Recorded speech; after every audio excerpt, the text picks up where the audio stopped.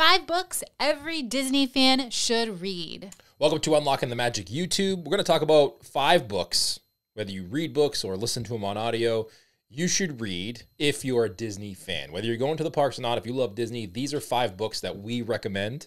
We get asked this question all the time. What's what are some books to get me excited for my next trip? Yep. These are the five that we love and we recommend you check out. And we'll link them all in the show notes below this video. I think that these books are good for even the non Disney fans. It's a way to get you to like Disney and true to get excited for your next Walt Disney World vacation. Agreed. Like there's a lot of books out there and we get asked, hey, you know, my husband or my boyfriend or my wife is not super into Disney. How do I get her excited for our next trip? And reading books and learning about the history can definitely get you in the mood and excited to go to Disney because it gives you a different experience and a different perspective of why the parks are there. So I love these. I actually have the books right next to me, but we're going to start off with number one.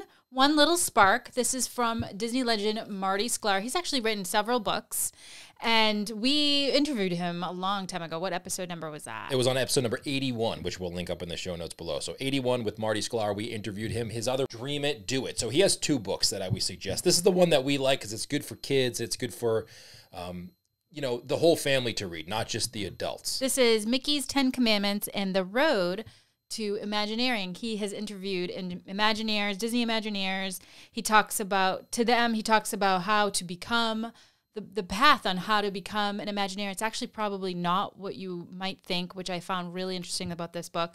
And really, what was cool too is that he talks a lot about the some of the attractions. Yes. And I, I really love this book. It's really fun, lighthearted read. Like Bruce said, it's even good for kids. Yes. So if you're not a, a huge reader like me, I love audiobooks. Yeah. I was even able to read that one. It was a really easy read, really quick read. So Yeah. we also interviewed Marty where we talked about his favorite attraction. We talked mm-hmm. about how he got started with the Walt Disney World Company and how he actually wrote for Walt. Right. So if you want to check out that episode, it's below. It's a really, really good episode with Marty Sklar. The next one, it's kind of a cute story by Rolly Crump, another Disney Imagineer that we had the honor to interview. I actually don't have that book in front of me, but great story, great, great author, Yes. great Imagineer, great person. He was a lot of fun to have on the show. Marty's different.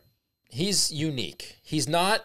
He's an outside of the box thinker, and he's mean not. Rolly? Your, yeah, Rolly. Sorry. it's okay. and he's not your typical artist when you think he was very artistic and creative with his design and we talked about that with him and we talked Yeah. about how uh, he got started with the Walt Disney World Company and you know his involvement with even the Haunted Mansion and how he came up with these uh, Home of the Weird it was called and Yeah. Walt didn't really know what to do with it but that was an interesting story so he has a lot of good stories in that book I highly suggest you read that one as well Again, he talks about his involvement with some of the most iconic attractions. So it really gets you to really get to know the the the person behind this incredible park. So I really I recommend that one. that's a good one Kind of a cute story. Kind of a cute name for a book. It is. right? yeah Okay, next one, How to Be Like Walt. That's a good one. I do I have that one in front of me? No, I don't have that one in front of me. But that one is something I feel like you read a lot before you actually really started loving going to Walt Disney World. definitely it definitely gives you a, a, a look into how he thinks Yes. And what he goes into the process of putting people in the right spot and how he built the company and how he never gave up. And I think that's a good aspect to kind of talk about when you're going to Walt Disney World with somebody that's Yeah. not super interested in like they think Disney World is just rides. Right. Oh, the It's book not. the book is behind you. I Yeah, just it's a it. great book. That Yeah. one is available on audio, which I'll link up below because it's Okay. a long one. So it's, It's like a long one. I think it's four or five hours on audiobook. Okay. So it's a good one if you're on a real long road trip or maybe you're commuting back and forth to work and you want to just kind of listen to that and get some behind the scenes history of the Walt Disney World Company. That's a great book. it's lessons right lessons and how to how to be like walt like how to incorporate walt in your life his philosophy like Yeah. bruce said it's really inspiring and encouraging because you know that you know obviously these people that he worked with had incredible talent but they were just regular folks at the end of the day and it really makes you re- realize that anything is truly possible so Yeah, like Walt that. Disney was a very intelligent person, mm-hmm. obviously, and he was very ambitious. But one of his best yeah attributes okay as a leader or as an entrepreneur was finding what people's hidden talents are, or maybe talents that they didn't even know they had, and putting them in the best place for them to succeed. yes And he took people out of spots that maybe they thought they were good at, put them in things and worked on projects that they wouldn't think that they would want to work on that, and they thrived. Right. And that's really his philosophy, and that's what he was really great at, and that's how he built such an amazing company. I love it. I love- He's like the most incredible kind of coach, and Yeah, yeah, he was perfect. great at it. All right, next one. We are already at Walt Disney, an American original. That one I do have right next to me. And this one is actually one that I recommend reading. I've, of course, I recommend reading all of these, but this one I actually bring with me on the airplane a lot. So I bring it with me on a trip to Walt Disney World. I've read it like a hundred times, but it's just fun. It's a fun book. It's long, so you, I don't necessarily expect you to read the old book on a flight. But it, if you've already read it at home once and you want to bring it on the plane ride with you, if you have a three four hour flight it's really fun to just kind of go through it and just see like pick out the things that really were special for you and i i really felt like i got to know walt disney from this book which- That is a deep yeah. dive into the history of himself, how he Yeah. grew up, and how he worked even before he built the Walt Disney Company. Like what all, even like the failures that he had. Right. it was great to story to hear.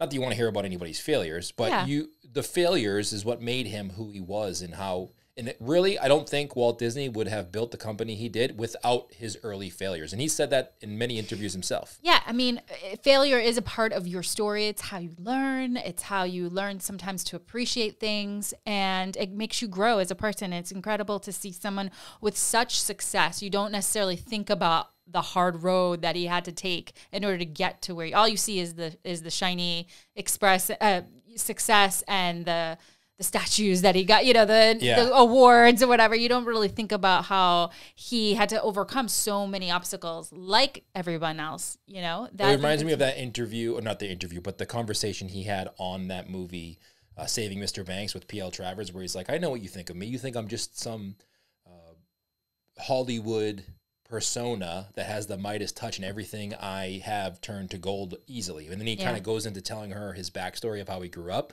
And that book kind of talks more about that. So you get the mm-hmm.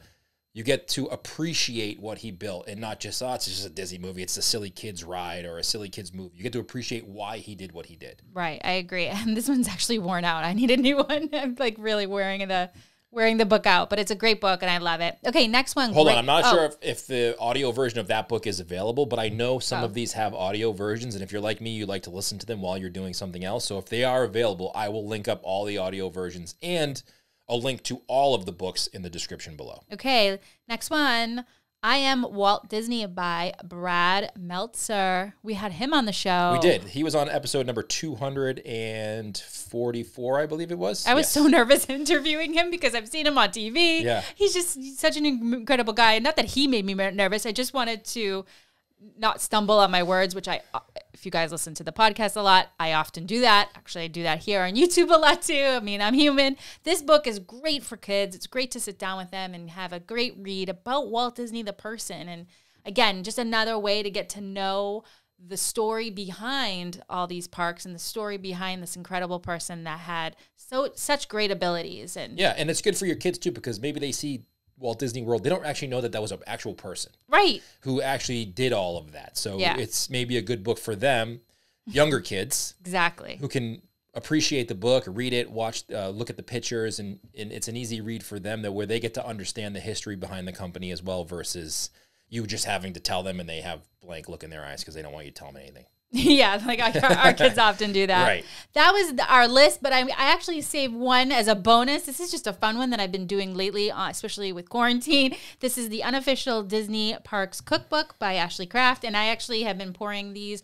We don't often cook disney foods at home just because sometimes it makes us sad like we we vowed to never make tonga toast Yes, I'm not making tonga toast at home. I know everybody keeps sending me the recipes, but it's not the same. I don't want it's to do not it. the same. But I will say one of the one of our favorites here is Gaston cinnamon rolls, and she has here laid out the recipe, and it's just a really fun way to pass the time and bring Disney at home. Yeah, so if you're watching this video, Yes. let us know if you've read any of these books and maybe which one of these is your favorite, or if it's a favorite Disney book that you have that's not on our list. Drop it in the comments below because we're always on the lookout for either Disney history or books about Disney that we can add to our list and suggest people who listen to or watch this show. yeah. Uh, we want to give them some books as well because it's a question we probably get asked a ton. Right. What book should I read? Right. Now we just created this video so we can just be like, you know what? Here you go. Go check is. out this video, and those are the five books we suggest you read. But they'll also be able to read your comments, so leave them below. Awesome. All right. That's good. Yes. We'll see you next week, guys. Bye, everybody.